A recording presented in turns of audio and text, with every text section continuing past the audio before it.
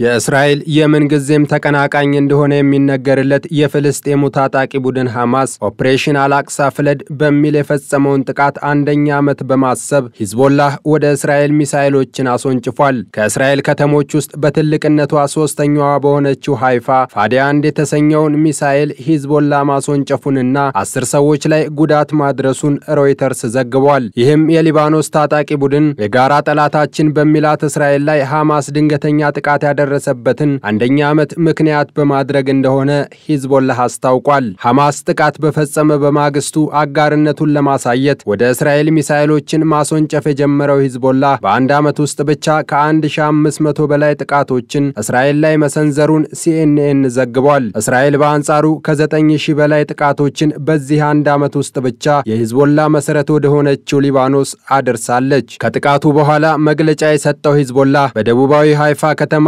በሚገኙ የእስራኤል የጦር ሰፈሮች ላይ ጥቃት አድርሻለሁ ብሏል። ተጠናክሮ በቀጠለው የእስራኤል ጥቃት በሁለት ሳምንት ውስጥ ብቻ ዋና መሪውን ሰይድ ሐሰን ናስራላህን ጨምሮ በርካታ ጉምቱ የሚባሉ አመራሮቹን የተነጠቀው ሂዝቦላ እስራኤልን ለመመከት በአቅሙ እንደሚተማመን አስታውቋል። ከእስራኤል ጋር ጦርነቱን እቀጥልበታለሁ ያለው ቡድኑ የዛሬ ዓመት ሐማስ የፈጸመው ጥቃት ጀብደኝነት የተሞላበትና ታሪካዊ አሻራ አሳርፎ የሚኖር ነው ብሏል። በቀጠናው ለእስራኤል የሚሆን ቦታ የለም። በዚህም የትኛውንም ያህል ጊዜ ይፍጅ እንጂ እስራኤል ትወገዳለች ማለቱን ቢቢሲ ዘግቧል። እስራኤል እየወሰደችው የሚገኘው እርምጃ በፍጹም የተመጣጠነ አይደለም ያሉት ደግሞ የሊባኖስ ፓርላማ አባል የሆኑት መልሄም ካላፍ ናቸው። ሊባኖስ እጅግ በከፋ ድብደባ ላይ ትገኛለች ያሉት የፓርላማ አባሉ ከሂዝቦላ ተፈጽሞብኛል ላለችው ጥቃት አሁን ላይ እስራኤል በሊባኖስ እየወሰደች የሚገኘው እርምጃ ፍጹም ተመጣጣኝ አይደለም ብለዋል። በሌላ በኩል እስራኤል በሊባኖስ እያከናወነች የሚገኘውን ወታደራዊ ዘመቻ አጠናክራ ስለመቀጠሉ አስታውቃለች። እስራኤል በተዋጊ የጦር ጀቶች አማካኝነት ቤሩት በሚገኙት የታጣቂ ቡድኑ የደህንነት ዋና መስሪያ ቤት ላይ ባደረሰችው ድብደባ የመረጃ መሰብሰቢያ መሳሪያዎች፣ ማዘዣ ማዕከላትን እና ተጨማሪ መሰረተ ልማቶችን ማውደሟን አስታውቃለች። ከቤሩት በተጨማሪ ደቡባዊ ሊባኖስ የሂዝቦላህ የጦር መሳሪያ ክምችት ላይ ጥቃት መፈጸሟን እስራኤል በጦሯ በኩል ይፋ አድርጋለች ሲል መቀመጫውን ለንደን ያደረገው የዜና ወኪል ሮይተርስ ዘግቧል።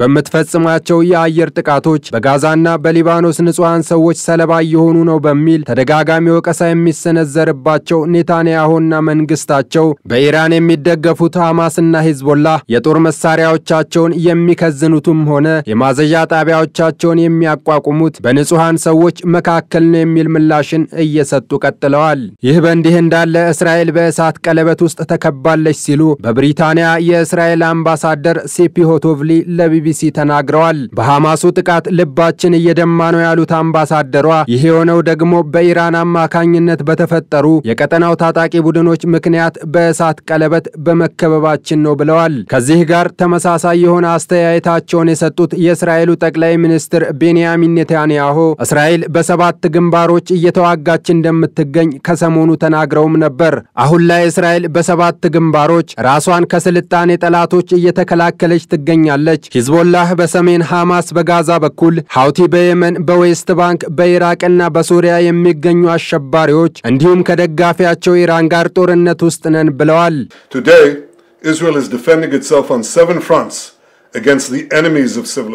ዛሬ እስራኤል በሰባት ግንባሮች ጠላቶቿን እየተከላከለች ነው።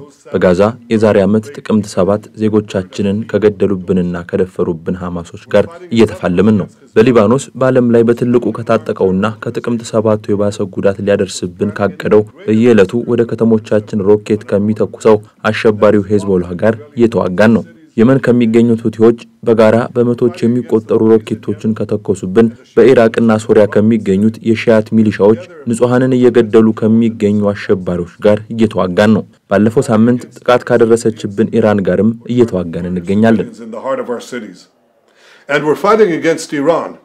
which last week fired over 200 ballistic missiles directly at Israel.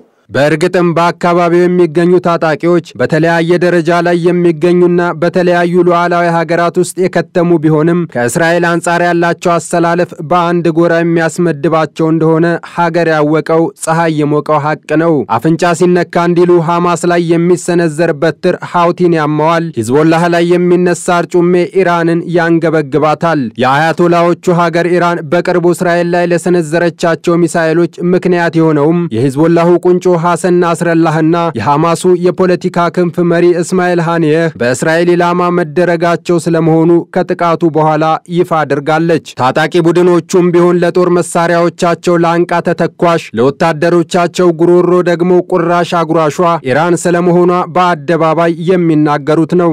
ሙዋዘነት ሕዝቡላህ ወመዓሸቱ መሳሪፉ وأكله وشربه وسلاحه وصواريخه من الجمهورية الإسلامية في إيران. ለሊባኖሱ ሂዝቦላህም ሆነ ለፍልስጤሙ ሐማስ ለየመኑ ሐውቲም ሆነ ለኢራቁ ካቲብ ሂዝቦላህ ስንቅም ትጥቅም እንደምታደርግ በኩራት የምትናገረው ኢራን እንደ ታጣቂዎቹ ሁሉ የእስራኤልን በቀጠናው መኖር ስጋት አድርጋ እንደምትቆጥረው ትናገራለች። በሊባኖስ ሂዝቦላ የሚጠቀምባቸው የመገናኛ መሳሪያዎች ፍንዳታ በኋላ የኢራን እስላማዊ አብዮት ዘብ አዛዥ የሆኑት ሁሴን ሳላሚ ከሟቹ የሂዝቦላ መሪ ሐሰን ናስራላህ ጋር አድርገውት በነበረው ውይይት ይህ የአሸባሪነት ተግባር የጽዮናዊው አገዛዝ ተስፋ መቁረጥና የሽንፈት ውጤት ነው። በቅርቡ ታጣቂ ቡድኖቹ በቅንጅት በሚሰጡት ምላሽ ደም የተጠማውና ወንጀለኛው አገዛዝ ሲፈራርስ የዓይን እማኝ እንሆናለን ሲሉ የእስራኤልን መፈራረስ እንደሚመኙ መናገራቸው ይታወሳል። በሂዝቦላህ መዲና ቤይሩት መመላለስ ያበዛችው ኢራን ይዛ ከምትሄደው ድጋፍ ውጪ ለሂዝቦላ ከተሰናዳው የሞት ድግስም ተቋዳሽ ሆናለች። ሂዝቦላህን ለ32 ዓመታት የመሩትን ሐሰን ናስረላህ ኢላማ ያደረገው ጥቃት ወደ ቤይሩት አቅንተው የነበሩትን የኢራን አብዮታዊ ዘብ የጦር መኮንን የነበሩትን አባስ ኒልፎሩሻንንም ከዚህ ምድር እስከ መጨረሻው ያሰናበተ ነበር። ባሳለፍነው ሳምንት የሐሰን ናስራላህን መንበር ለመረከብ በብዙዎች ግምት ቀዳሚውን ስፍራ የያዙት ሐሺም ሴፈዲን ላይ ባነጣጠረው የእስራኤል ጥቃት ደግሞ የኢራኑን አብዮታዊ ዘብ የደህንነት ስርዓት በበላይነት እንደሚመሩ የተነገረላቸው እስማኤል ቃኒ ሰለባ ሳይሆኑ አልቀረም ተብሏል። በተቃጣው ጥቃት ሐሺም ሴፈዲንም ቢሆኑ በሕይወት ስለመኖራቸው አሊያም ስለመሞታቸው የተረጋገጠ ነገር ባይኖርም የናስረላህን ሞት ተከትሎ እግራቸው ቤሩት የደረሰው እኚሁ የጦሩ መኮንን የግንኙነት መስመራቸው መቋረጡ የእስራኤል ሰለባ ሆነው እንዳይሆን ስጋትን ፈጥሯል። እስማኤል ቃኒ በ2020 በኢራቋ መዲና ባግዳድ በአሜሪካ የድሮን አረሮች ሕይወታቸው ያለፈውን ጀነራል ተክተው የአብዮታዊ ዘቡን የደህንነት ስርዓት በበላይነት እንዲመሩ የተሾሙ ስለመሆናቸው ሮይተርስ ዘግቧል። ከናስራላህ ጋር አባስ ኒልፎሩሻንን የተነጠቀችው ኢራን ከሐሺም ሴፈዲን ጋር ደግሞ እስማኤል ቃኒን የምታጣ ከሆነ የአያቶላህ አሊ ካሚኒዋ ሀገር ከእስራኤል ጋር ያላትን ቁርሾ አንድ ደረጃ ከፍ የሚያደርገው እንደሚሆን ይጠበቃል። ሁለት መቶ አካባቢ ፋታህ አንድ የሚደርሱ ሚሳኤሎችን እስራኤል ሰማይ ላይ ያዘነበችው ኢራን አጸፋውን ታስተናግዳለች ተብሎ ይጠበቃል። በተለይም የኔታንያሁ መንግስት የኢራን ኒውክሌር መሰረተ ልማትና የነዳጅ ጣቢያዎች ላይ ያነጣጠረ የበቀል ጥቃት ለመፈጸም ውሳኔ ላይ ደርሷል መባሉን ተከትሎ ኢራንም ከፍ ያለ ምላሽ ልትሰጥ እንደምትችል ከጦር ጀኔራሎቿ እስከ ፕሬዝዳንቷ አለፍ ሲልም በአያቶላህ አሊ ካሚኒ አማካኝነት እስራኤልን ወየውልሽ በማለት ላይ ትገኛለች። የቢቢሲው የደህንነት correspondent ፍራንክ ጋርድነር እስራኤል መቼና እንዴት ኢራንን ትበቀላለች አሊያም ትመታለች ሲል ባስነበበው ጽሑፉ ኢራን ላይ ሊሰነዘር የታሰበው የበቀል እርምጃ በእስራኤል ጦር በፖለቲከኞችና በቅርብ አጋሯ አሜሪካ ጭምር ብዙ ንግግሮች እየተካሄዱበት ነው ብሏል። በተለይም እስራኤል የምትሰነዝረው ጥቃት ከኢራን መጠኑ ከፍ ያለ ጥቃትን የሚያስከትል ሊሆን በመቻሉ ቀጠናው ወደ ለየለት ጦርነት ገብቶ ሊደረግ አንድ ወር ያህል ብቻ በቀረው የአሜሪካ ምርጫ ወቅት የልዕለ ኃያሏን ጦር ውዥንብር ውስጥ የሚያስገባ ሊሆን ይችላል የሚል እምነት በነጩ ቤተ መንግስት ሰዎች ዘንድ እየተነሳ እንደሚገኝ ገልጿል። ኢራን ለፈጸመችው የሚሳኤል ጥቃት ትክክለኛውን ዋጋ መክፈሉ አይቀርም የምትለው እስራኤል ለአሁኑ ከየትኛውም ግንባር በላይ ከሂዝቦላ ጋር የሚደረገውን ጦርነት ቅድሚያ የምትሰጠው እንደሆነ እየተነገረ ይገኛል። በዚህም በሊባኖስ ውስጥ በሚገኙ 120 የሚሆኑ መንደሮችና ከተሞች ውስጥ የሚገኙ ነዋሪዎች አካባቢያቸውን ለቀው እንዲወጡ የሚያዙ መልእክቶችን እያደረሰች ትገኛለች። በጥቃቷም ከ1200 በላይ ሊባኖሳውያን ሲሞቱ ከ1.2 ሚሊዮን በላይ ዜጎች መፈናቀላቸውን ሲኤንኤን ዘግቧል።